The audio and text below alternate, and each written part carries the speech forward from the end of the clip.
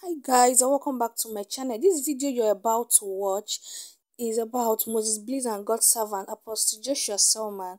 It was some years back when he prophesied and he told Moses Bliss that he's seen a dove resting upon his head and that he's going places, that God is about to shift his music ministry and that the world is going to hear his voice. And today it is evident. We can all see it that Moses Bliss has been going round, round the world, and it is really evident in his life. And we give God all the glory for this powerful prophecy. So just watch the video and please don't forget to subscribe and like this video. When I stood up here and I was to pray, I, I, I thought I would just do it privately, but the Lord is putting it strong upon my heart.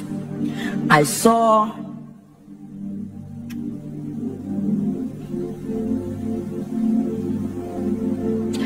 a dove.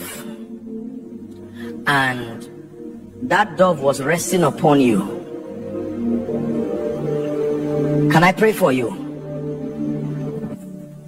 I just kept quiet. I thought we may meet in the office there but i just saw it again. I want to pray for you because the, the lord is about to shift your music ministry to a very strange dimension